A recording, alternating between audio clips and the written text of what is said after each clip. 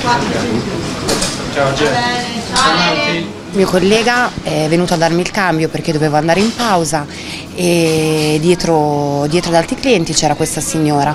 Appena lui si è seduto in cassa, questa signora ha cominciato a inveire contro di lui dicendogli parole razziste perché non voleva essere servita assolutamente da lui, chiedendomi a me di servirla io. E la mia risposta è stata che assolutamente no perché se non vuole essere servita da lui non la servo neanch'io perché Manuel è una persona speciale e non, non, devono esistere cose del genere. Lei che cosa ha provato quando ha visto quella scena? Mi sono sentita male, cioè ero mortificata perché comunque ho visto dai suoi occhi un dispiacere e non ha risposto, non ha detto una parola, soffriva, cioè si vedeva che in quel momento soffriva.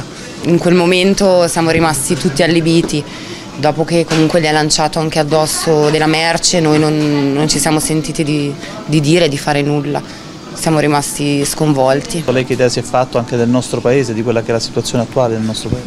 Mm, non mi piace questa situazione, non, non, mi piace come si svolgono le cose in questo periodo, soprattutto con dei ragazzi che sono qua a lavorare e vi, vi assicuro che Emanuele è un gran lavoratore, è un gran lavoratore da tutto, tutto, se stesso. Spesso prendere una posizione e schierarsi dalla parte anche del giusto, se si vuole, è difficile. Lei ha avuto il coraggio di farlo?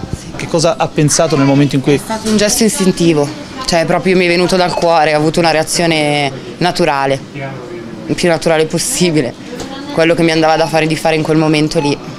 Stamattina tra l'altro è venuta una signora per dare la sua solidarietà a Manuel, ci ha portato questo e ancora lui non lo sa perché non è ancora arrivato al lavoro. Quindi siamo felici di questo, siamo molto felici.